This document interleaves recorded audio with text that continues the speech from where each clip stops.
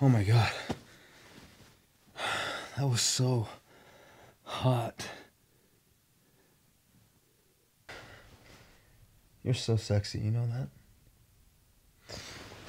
that? Thanks for letting me take the rubber off. I just really wanted to feel you. And you felt so good. So, uh, here's the thing. Um, I, I'm on PrEP and, and totally HIV negative, just like I said. And um, I got tested last week, just like I said. And I tested completely negative. Almost.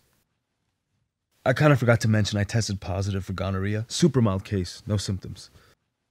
The doctor prescribed me antibiotics, and the infection should be going away by now. Well, by the end of this week. But I, I'm, I'm not contagious.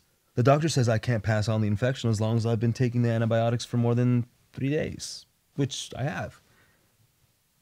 Well, um, I've been taking them for more than two days.